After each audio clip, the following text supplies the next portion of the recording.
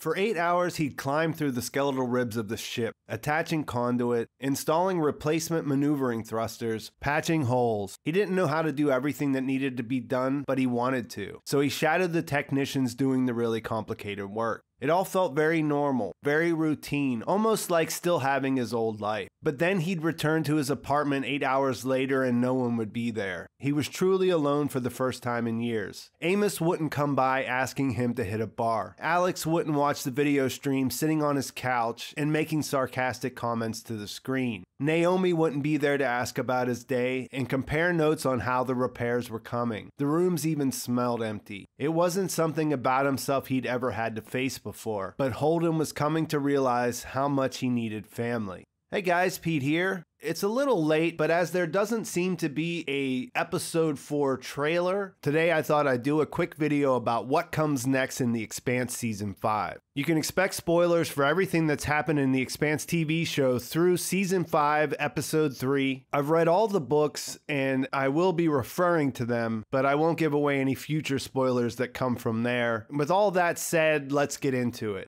Episode 3 ended with a major event. A giant asteroid crashed to Earth's surface. And there's been a lot of discussion online about how big this might be, how it'll compare to what happened in the books. At this point, I think it's best to avoid speculating and keep things sort of general. This is not an insignificant event. And it goes beyond the actual damage from the impact. Now, of course, we know that there are more of these things aimed at Earth and coming its way. We don't know if they'll hit or not. But if you look at things on the scale of terrorism, terrorism not only to take millions or hundreds of millions of lives, which this most likely will do, but also to produce fear. No one on planet Earth will be able to feel safe in the aftermath of this. It's unprecedented in its scale as far as we can tell, in the audacity of going after humanity's home planet. Marco Inaros' plan seems to be working, and we will get back to him when we talk about Naomi. But for now, let's check in with some of the other characters, including Avasarala, who has figured out that he's behind it. In the first three episodes, we saw that she pieced together that Marco had thrown a stealth covered rock at Earth. The private sector scientist confirmed her suspicions, she got further confirmation when Fred Johnson sent her the recording of Marco talking from Ashford. But she's stuck in a situation with politics being as they are, no one will listen to her and there's nothing she can do. I'd say most of what we've seen from her so far is character development, showing us where she's at. She wasn't able to prevent the first rock from hitting, but the information she's gathered and what she's doing with Bobby will likely play an important role in going after Marco after the fact. She's on Luna, so the character who's closest to Ground Zero right now is actually Amos. Amos is on Earth. He didn't really show up in episode 3, but at the end of episode 2, we saw he finished his business looking into what happened to Lydia. At the end of that, he reached out to Avasarala and told her he was never coming back to Earth, but there was one person he wanted to see and he needed her help to arrange that. This is one of those things that I definitely know who he's talking about. If you've read the books, you know as well. If you've been paying close attention, you might also know. But otherwise, it's something I really can't touch. I think what's more important here is that he is on the planet and will be in a position to experience that, the aftermath, in a way that no one else will. Humanity's home is under attack, and I opened the video with an excerpt from a Holden chapter from Nemesis Games, where he's feeling separated from the crew and realizing how important they are to him and how much he needs a family. Many of the stories for the characters in this season is going back and facing the past. In that process, Holden is feeling separated. He's lonely there at Tycho, but he's also found himself in the middle of what's going on there as well with Fred Johnson. It's clear that somebody is working against their interests on the station. There's a mole.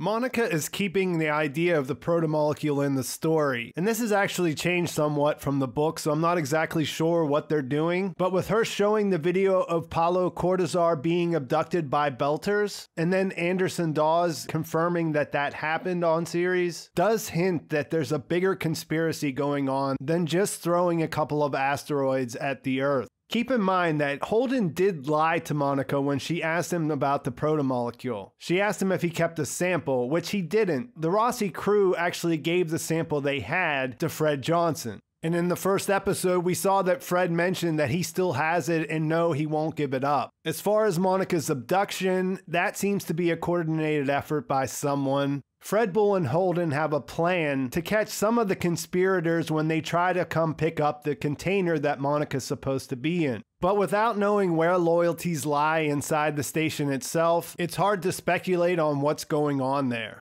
Elsewhere in the belt, we have Drummer, who we've seen is working in piracy. She's entered into a polyamorous family. They now have three ships. And after finding Ashford's ship, the Tynan, Drummer decided that she wanted to go after Marco for the bounty. One of the things I saw in discussions about the episodes was some people thought it was out of character for Drummer to become a pirate. And I can say that I kind of understand where people are coming from, but if you think back to her arc in season 4, it does track. Remember, she quit working for Fred Johnson at Medina Station. She thought his decision to work with the Inners got dozens of Belters killed, and that Marco was going to be able to use that to rally thousands of Belters to his side. And where Drummer's going is always hard to figure out because she's a combination of different characters from the books. But I think where they're going for here is that she's looking for independence. She followed Anderson Dawes, she followed Fred Johnson. Those experiences led her to be disillusioned. And now she's found this new family and she decided to stay out of politics. They're pirates and she decided to sign on with them.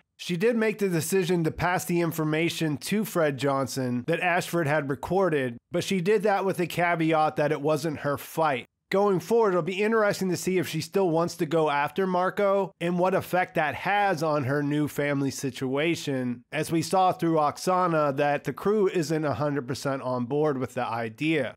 Our final story in the belt is Naomi, in the first three episodes, we saw her arrive at Pallas Station, where she realized that Philip is in too deep with Marco in the Free Navy. That realization came way too late, as she's basically now been taken hostage. There was a lot going on with her interactions with her old crewmates, Cyn and Karal, and then her finally talking to her son after all this time. She has no idea what's going on yet, but Philip's decision to take her back is going to put her in a really crazy situation.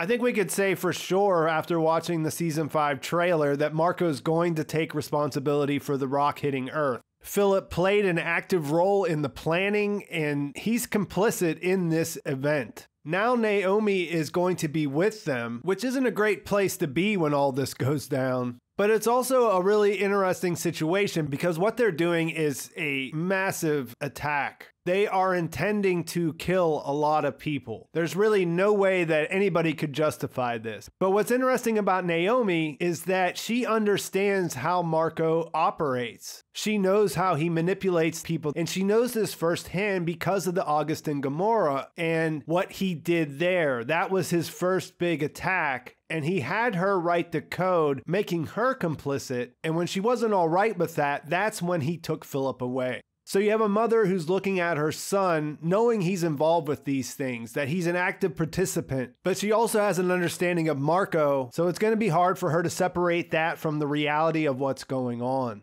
Plus, she hasn't seen Marco for years. They're going to be, in a way, reunited, and that's going to bring all of that stuff back up to the surface as well. A lot of interesting stuff going on with Naomi and her story. To round out the rest of the characters, we have Alex and Bobby on Mars. Bobby has made a lot of progress for Avasarala looking into all these black market weapon deals, and she's landed on Sauveterre as her main suspect. Alex wasn't able to get close to him, but he did have dinner with Emily Babbage. She was really focused on the protomolecule and his experience on Ilus. She asked some very pointed questions, and he went along as that was their strategy. Him and Bobby talked about it before he went and thought that he should entertain her questions and then try to figure out some things about Sauveterre in the process. And while I went over all of that in my breakdown video for the first three episodes, we could tell that something's going on with these two, Babbage and Sauveterre. We can guess that it's likely connected to what Bobby found in her investigation with all the weapons, and we know they're leaving Mars on a ship called the Barkeith. I think the other really interesting part here is that after his dinner, he was immediately attacked by these other people wondering why he was asking about Sauveterre.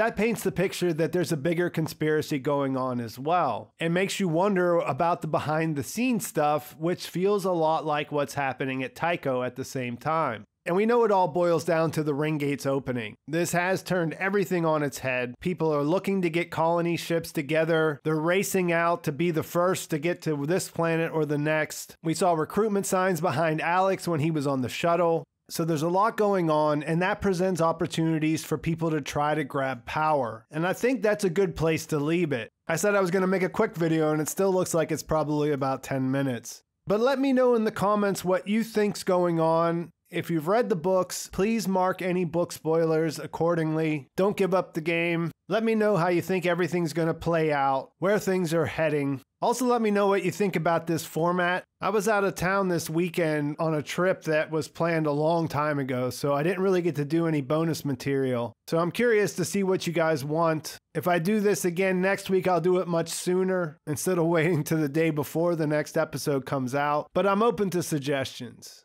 Please like this video if you enjoyed it. Please subscribe to my channel if you haven't already. Thanks for watching. I'll talk to you soon.